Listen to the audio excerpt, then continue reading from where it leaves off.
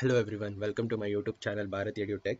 Today we are going to learn about how to create and set up uh, your first uh, React app. So let's start. So first you have to create a folder. So let me create a folder. I'll call it as React projects. Then once after creating, open this folder in VS Code.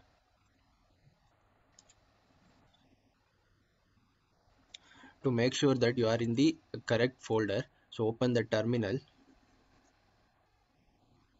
and check whether you are in the uh, right folder or not. So i am presently in react project folder. So yeah to create react app you need node.js so to check whether the node is installed in your system or not uh, type node hyphen v so you can see the present version of node that's installed in my system. So if the node is not installed uh, in your system you can go to the browser and search for node download. And here select the first one download node.js and in here in the drop down select whatever the version of node uh, js you want to install. And click here and follow the process to download the node.js properly in your system. Once after uh, completing this process you can go to the vs code and to create the new react app you have to type npx create react app. And after that you have to give the name of the uh, app you are doing. So i'll give it as my first react app.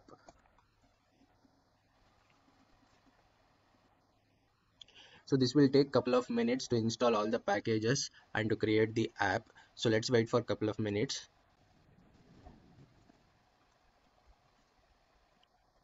so once after the com uh, completion of installation you can see you can open this folder you can see that this is the structure of react app. So to go into the uh, react app and run in the local server all you have to do is you have to change the directory uh, to the uh, app that you have created now. So i'll change the directory to my first react app so you can see here. So it went in went inside the my first react app. So here to run in the local you can click npm start. You can type npm start. So it will immediately redirect to the browser the localhost server localhost 3000 so you can see default page of the uh, react app. So if you want to uh, create your app you can go to the app.js uh, file. And here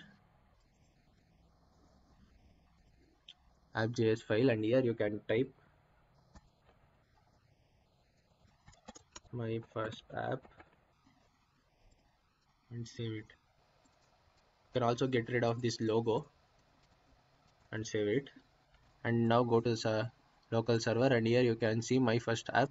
So your first react app is ready to use. So hope this video has been helpful to you. Thank you guys. Thank you for watching this video. For more videos like this subscribe to my youtube channel